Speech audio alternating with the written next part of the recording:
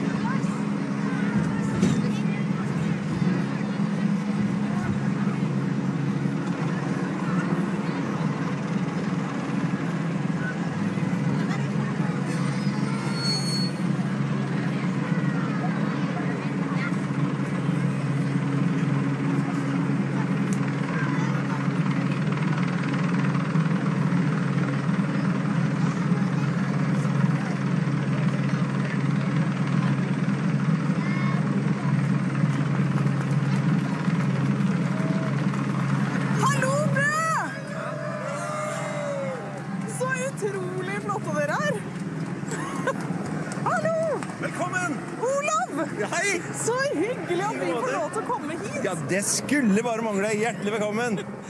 Bor det så mange folk i Ja, det bor mange flere enn dette. Vi er over 6000 som bor her. Og så er det 3000 studenter som eh, holder til her fast. Ja. og så er det 150 000 turister her om sommeren, så dette er en stor bygdeby. Og alle de turistene kommer i badebukse. Alle de går i badebukse hele tida, så det er veldig fint å se på, da. Som oftest. Men dere har pynta så Ja, flott men her skal du se her, Har du lyst til at jeg tar en liten runde rundt? Gjerne. Ja. Dette første du ser her, dette er Bø, bygdebyen Bø er en internasjonal bygdeby. 72 nasjoner som bor der. Det, det er en, eh, vi er jo et eh, fribyforfattersted. Idrak er en av våre fribyforfattere. Eh, og her er det masse, masse, masse som skjer hele tida i forhold til flyktninger og innvandrere og internasjonale studenter. Jeg tror jeg må gå og hilse på noen. ja. Her står du en eh, her klar. Jeg må nesten spørre, har du Sputnik-truse på? Nei, jeg har ikke det. Nei. Nei, jeg bruker ikke det. Og, og hvem har du i vogna her, da? Det er yngstemann. Han er ti måneder. Emil Andreas heter han. Det er Norges og kanskje verdens snilleste guttunge. Er han bøhæring, er det det det heter? Du, han Nei, han er ikke det, faktisk. Han er fra Drangdal. Faren er fra Sogn. Og derav Sputnik-T-skjorta. Riktig, riktig. Riktig. Da gjør han Hils på Idrak. Her har vi en. Er du en av Du er flaggbærer i dag. Hva heter du? Ja, jeg er Idrak Abbas, jeg kommer fra Aserbajdsjan. Jeg er fribyforfatter i Bø. Hjertelig velkommen til Bø. Men hva er egentlig en fribyforfatter? Ja, Fri- fribyforfatter er en eh, prosjekt fra Icon. Og de mm, eh, som journalister, kunstner eller, eller forfattere eh, har problemer i sitt land, de åpner sin hånd til oss. Vi, vi takker til Bø. Men hva skriver du for noe, da? Uh, jeg, jeg, jeg, jeg skriver og filmer uh, veldig mye om karapt uh, i mitt land. Og det var uh, problem eh, for meg. Og så vi har en andre fribyforfatter uh, fra Bangladesh. De, er, de kommer eh, eh, De er ni. Eh, Det står over hele linja her. ja, nei, det er flere. Det, er, Tusen takk. Vi, vi har tre fribyforfattere nå i Bø. Kanskje kommer eh, flere. Kanskje det kommer flere. Dere får lykke til. Tusen takk. Nå, nå sier Olav her at vi skal gå denne veien Ja, fordi her. jeg har lyst til at du skal være med. Jeg har lyst til å si, og jeg har ikke fått hylla vår ferske kongepokalvinner. Har vi du lyst en kongepokalvinner? Yes, I hva da? I kappleik. I kappleik. Jeg blir med lett, for å si det sånn. Nå skal vi bevege oss inn i folkemassene her sånn. Og der går Olav i forkant. Og hvem er det som spiller her da, Olav? Vet du hva? Dette er ungdomskorpset, så det er eget ungdomskorps her. Men gjennomsnittsalderen er nok høyere eller ungdom. For det er ganske voksne folk som spiller her, men de var unge en gang når de begynte. Og så er det rekruttering. Ta, eh, skal vi få dem til å ta en til? Hvor ja, er det de står? De ned her. Nå svinger han i gang her. Skal vi se, og dette er jo, men det er masse unge folk i dette koret. Eller korpset, som vi- det også heter. Er det ungdomskorpset? Men vi tar også Der, der borte, som du fe- ser felespillerne, der skal du få se kongepokalvinneren. Akkurat.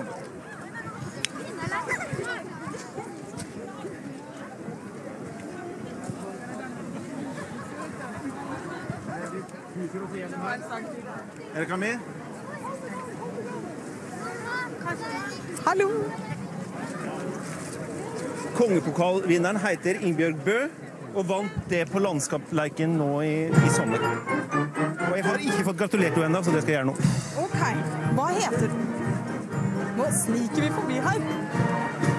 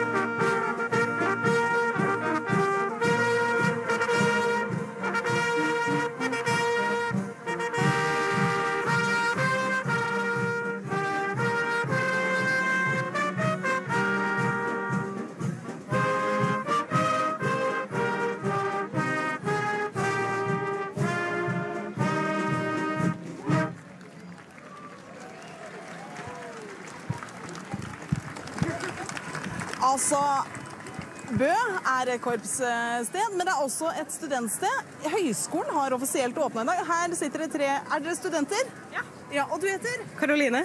Tina. Stine. Er dere førsteårs, andreårs, tredjeårs, og hva går dere på? Jeg, jeg er faktisk akkurat ferdig å studere, men jeg er med på åpninga nå denne uka her, bare. Så dere er da faddere, dere da kanskje? Jeg er fadder. Du er fadder. Det er jeg. Hva er ditt beste tips for å ta vare på studenter i Bø? Det er jo få de med på alt sosiale. Uh, ja, og vise de rundt og vise de nok informasjon. Jeg trodde, jeg trodde liksom standardsvaret var ta det med på kroa i Bø. Ja, det er jo det, det, er det som er jo det beste, selvfølgelig. Hva skjer på kroa i kveld, da? Du, da er det persa. Persa? Ja. Pasha. Persa. Konsert med Pasha. Det blir dansing. Det blir dansing, det blir god stemning, det blir eh, masse folk. Det blir kjempebra. Så bra. Og så vet jeg at eh, Olav, eh, ordføreren, står her nå. Og hvis vi snur oss der, Sissel, så ser vi kongepokalvinner i dans i Kappleik. i Kappleik fra i sommer. Og nå ser du har dansa for. De, tre av de spellemennene vi har her, er en av tre av de fremste har vunnet kongepokalen mange ganger. Og, og landskapsleiken. Men hun vant da kongepokalen i år, og det er veldig sjelden. Skal vi gå og gratulere? Vi det? Har jeg ikke fått gjort ennå. Nå går ordføreren bort. Jeg får lov til å gratulere deg som kongepokalvinner, for det har ikke Bø kommune fått gjort ennå. Herved gratulerer med deg som kongepokalen. Gratulerer! Tusen, tusen hjertelig takk. Og gratulerer fra oss i sommertoget også. Kan du vise oss, eh, meg og Olav, noen kappleiktriks? Eh, Noen grunnsteg? Ja, det er nå å være litt lett på foten, da. Lett på tå. Lett på foten. Få se, Olav. Få se om du er lett. Nei, nei, nei, nei, nei, nei. Jeg skal ikke skjønne Men hva gjorde du for å få kongepokalen, da? Nei, jeg måtte nå prøve så godt en kunne, da. Jeg var i veldig god konkurranse med mange, så jeg eh, så ikke helt den komme, altså. Jeg gjorde ikke det. Vi kan si at du heter Ingebjørg Bø, og er fra Bø, eller? Ja, det stemmer. Og der er navnet? Navnet kommer fra Setesdal, så sånn sett så er det litt eh, flaks, men eh, desto veldig koselig. Mer koselig. Kan vi få se litt mer av leiken? Selvfølgelig kan du det. Altså, bra. Jeg kan holde blomsten her, jeg. Nå får med Eivind, da. Eivind!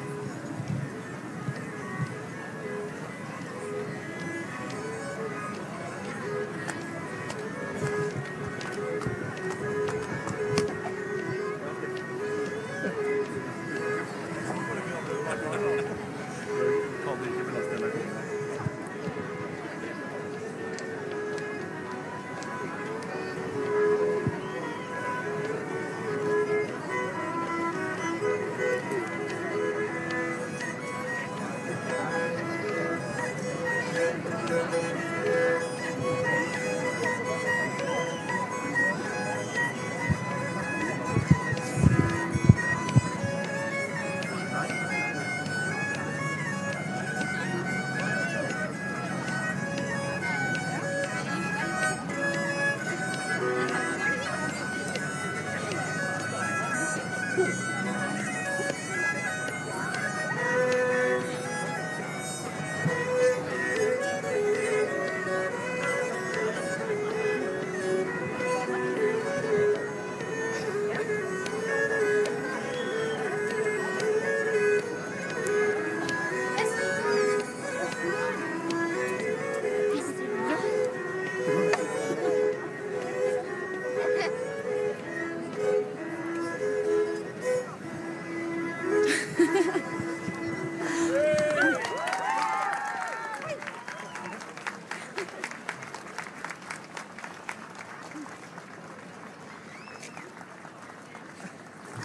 Ja, dette var helt, helt fantastisk eh, Fantastisk eh, dans, men også fantastisk musikk. Hva heter du for noe? Ida Ida, hva er det du spiller på? Hardingfjellet? Ja, men er det din helt egen, eller? Nei. Nei. Jeg låner av juniorspellemannslag. Spillemannslag. Da lurer jeg rett og slett på ja, om dere kan stemme en gang til mens eh, vi avslutter sendingen her fra Bø nå. Ja. Kan, er det du som kan sette i gang, da? Eh, OK. Ta jobben, du. Ja. Og da skal vi bare minne om at eh, dere må se på Sommeråpent i kveld. Da skal vi bli bedre kjent med studentene her i Bø. Blir kanskje litt snakk om eh, hva som skjer på kroa i kveld. Så skal dere få møte to skuespillere på hjemmebane. Og så er det bandet Ni Liv som står for musikken. Men akkurat nå så er det den gjengen her som skal stå for musikken. Take it away!